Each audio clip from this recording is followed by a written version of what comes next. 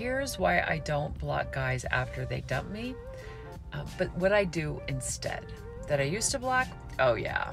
Something about turning 50 though. I've changed my ways. Here's an example of what happened to me recently.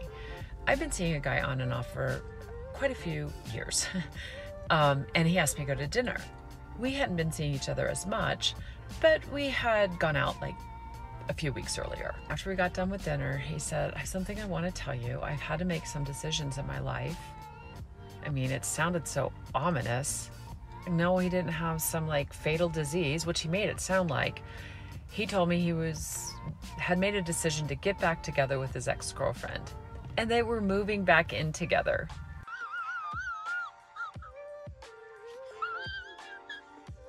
To which I replied, "I'm so happy for you guys. That's awesome." He's like, "You you're happy?" And I truly was.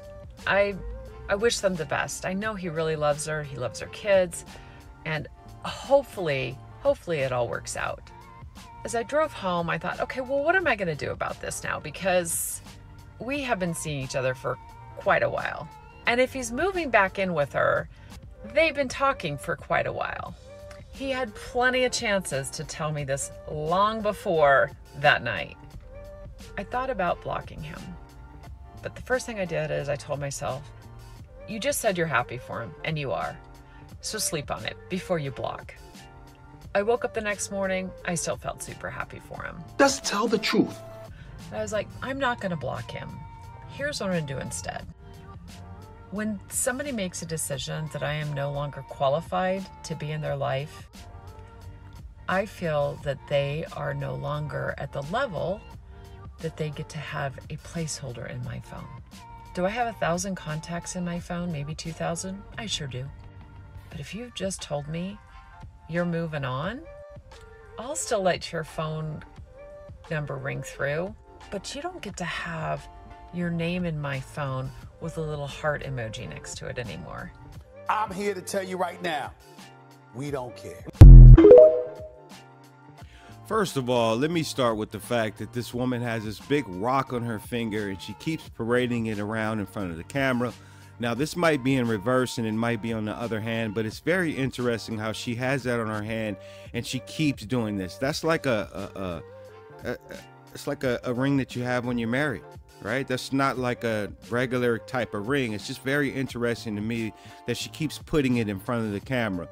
Um, another thing is she's 50 years old and she says, you know, she's kind of changed her ways. No, you're just desperate and you're trying to save every contact in your phone because the truth is you really want that guy to fail at the relationship because you want him to come back groveling to you saying, I should have stuck, ar- stuck around with you. You were the one. I made a mistake. That's why you're keeping it in there. And guys, you need to understand that women save everything. They save all phone numbers, they save all text messages and all that. You might talk to a woman six, seven years down the line and she still has all the texts. She still has your phone even number, even though you think she deleted it. She might just contact you out the blue. So that's why they they save that. They save everything. So guys, be aware of that. Nice. Now I'm a guy and I don't save anything, right? I don't save messages. If I'm done with somebody, I'm not saving their phone number. I'm not putting a star or check mark next to their name. None of that. They're just gone. But women, most women do the opposite of that. So she wants to keep that door open. That's why she doesn't want to delete the guy's uh, phone number. And if you notice, she says she has thousands of contacts and all that because she has a lot of guys in the friend zone. She's probably still uh, friends with the guys that dumped her, uh, the guys that she dumped um, because she wants to keep that door open. another thing she said is that she's happy. She's not happy. She wants that to uh, go down a bad road. She wants it to end. Okay, she's not happy. Stop lying. There is no way that you can be happy with a situation like that if you've been involved with somebody for a certain amount of time, some years, like she said, and all of that. And all of a sudden they tell you, you know what, I've made some decisions about my life and I'm going to get back with my ex girlfriend and move in with her. There's no way that you're going to be happy with that as a as a human being. So that's a lie. And then the other thing is, if you know, if she knows that this guy loves this woman and loves her kids, What is she doing in there?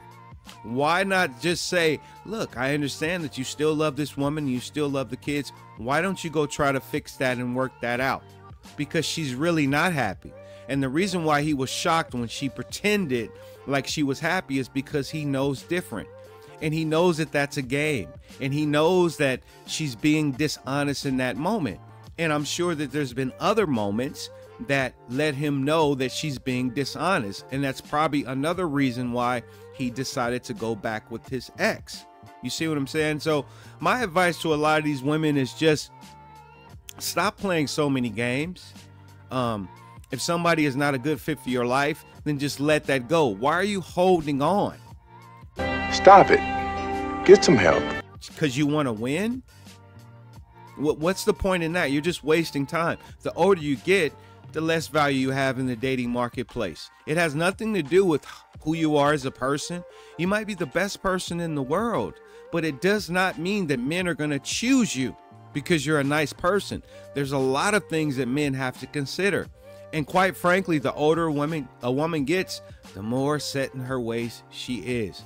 Anyway, that's my take on this video. I could be completely wrong, but that's just my perspective. Uh, let me know what you guys think uh, of this video in the comments. Make sure to like and subscribe. I know I've been away for a while, but I'm back now. I'm going to be making some more videos. But yeah, just let me know what you guys think because I'm very curious to uh, hear your opinion on this video.